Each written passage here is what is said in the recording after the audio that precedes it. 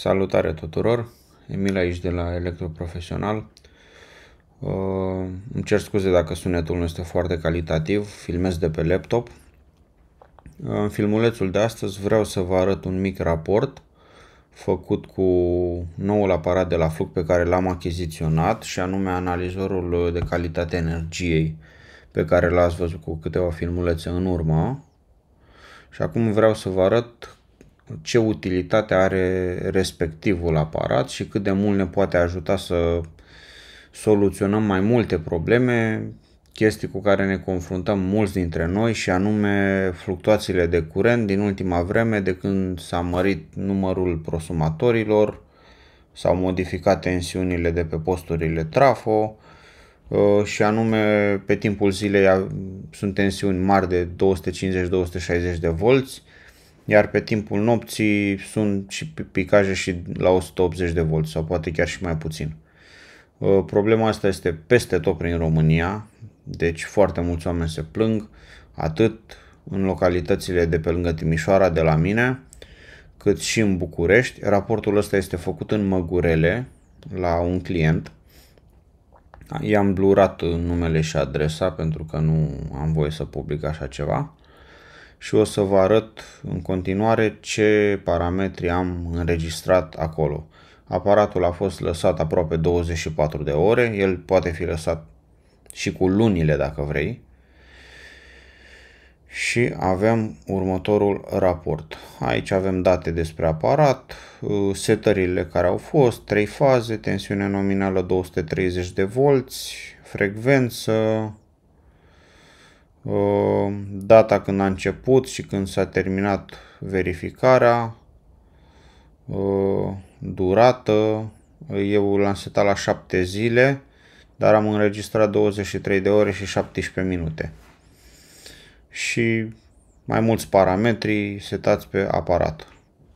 Hai să vedem în continuare. Am identificat mai multe probleme, vreo 113 la număr, plus 21 aici. Din nou aici avem seria aparatului, modelul, versiunea software-ului. Aici avem accesoriile care s-au utilizat, fiecare cu seria lui individuală. Așa. Iar de aici începem să vedem rezultatele.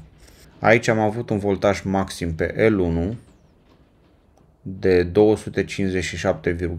volți înregistrat la ora 2 și 30 PM, adică după amiază. Pe L2 am avut 256,7 volți, tensiunea maximă înregistrată la 3 și 44. Iar pe L3 am avut nici mai mult, nici mai puțin de 265 de volți, înregistrați la ora 2 și 5 minute. Tensiunea minimă am avut-o 0 pe L1 și L2 deoarece au fost, au fost niște picaje de tensiune unde s-a oprit de tot faza 1 și 2 iar pe L3 a scăzut la 203 volți. În toate situațiile de față, atât tensiunea minimă cât și cea maximă este ieșită din parametri. Deci furnizorul nu prea face bine ce face, nu ne livrează energie de calitate. De calitate e deja mult spus, o energie decentă ne-am dorit. Uh, aici avem amperajul maxim care a fost pe L1 26, pe L2 15, iar pe L3 din câte se pare nu prea sunt consumatori, ceea ce înseamnă că în tablou trebuie făcută o reechilibrare. Tensiunea minimă, bineînțeles că a fost 0, în toate cazurile, exceptând L3 care a fost 0,18.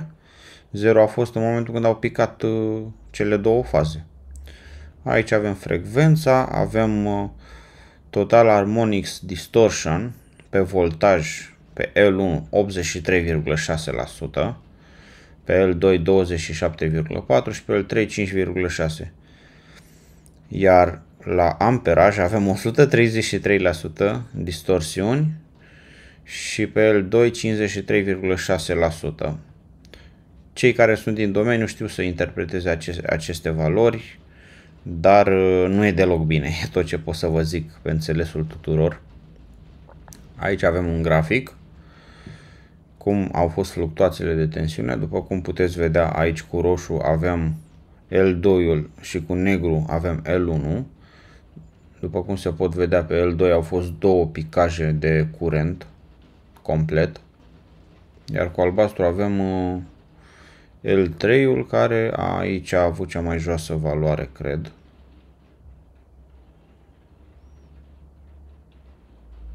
Atunci când a ajuns la 203.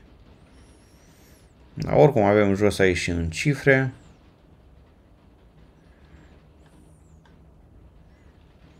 Aici este zoom dat pe același grafic pentru a se vedea mai clar.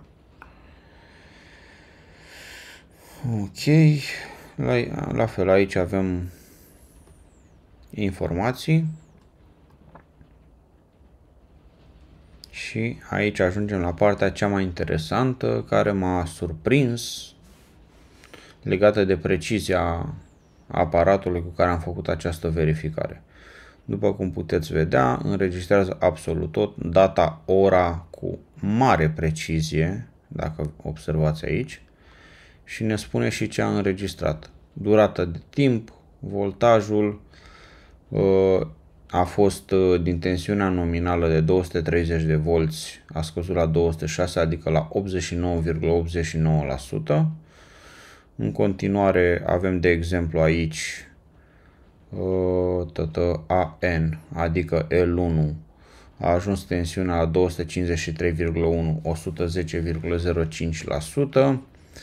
Aici am avut un dip, 0 voltaj și întrerupere.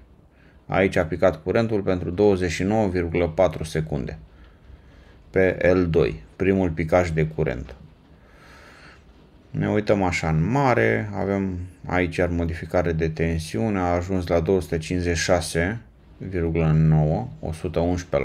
111%, unde a stat timp de 1 minut și 26 de secunde.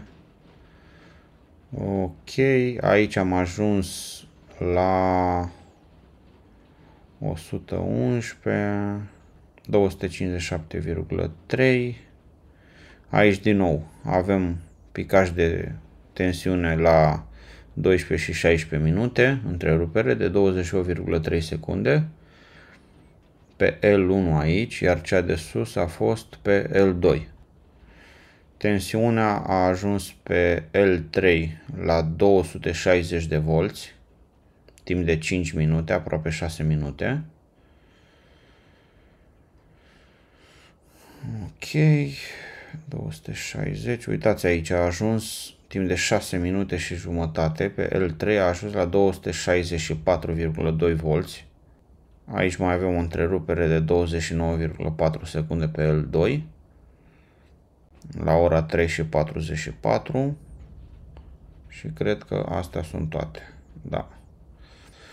Este customizabil raportul, adică poți să pui uh, cam ce vrei tu din graficele respective, ce te interesează cel mai tare și le poți scoate într-un raport PDF și poți vedea exact ce s-a întâmplat în rețeaua ta electrică în momentul când a fost supravegheată.